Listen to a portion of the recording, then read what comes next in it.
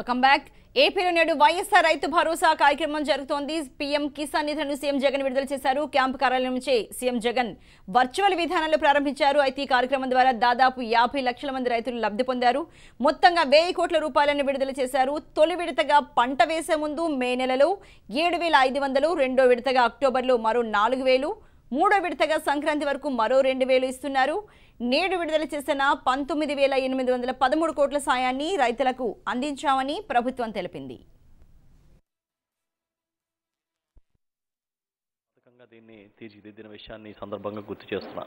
Direct benefit transfer కింద నేరుగా వారి అకౌంట్లో రైతుల అకౌంట్లో వారు మమ్మల్ని లబ్ధిదారులుగా చేర్చమని అడగక్కర్లేకుండా ఎక్కడ ఎలాంటి ఇబ్బంది రైతులకు తలెత్తకుండా పారదర్శకమైన వ్యవస్థను ఏర్పాటు చేసి నేరుగా వారి అకౌంట్లోనే డబ్బులు వేసే కార్యక్రమం చేశాం. ఇవాళ యాభై లక్షల యాభై ఎనిమిది వేల నాలుగు వందల ఎనభై తొమ్మిది రైతులకి వైఎస్ఆర్ రైతు భరోసా అందుతోంది.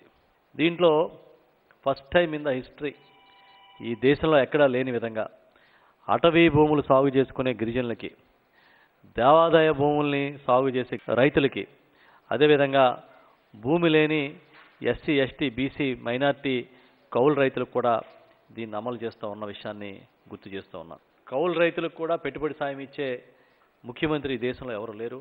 కేవలం అది వైఎస్ జగన్మోహన్ రెడ్డి గారికి మాత్రమే దక్కిందనే విషయాన్ని దేశంలోనే ఒక ఆదర్శం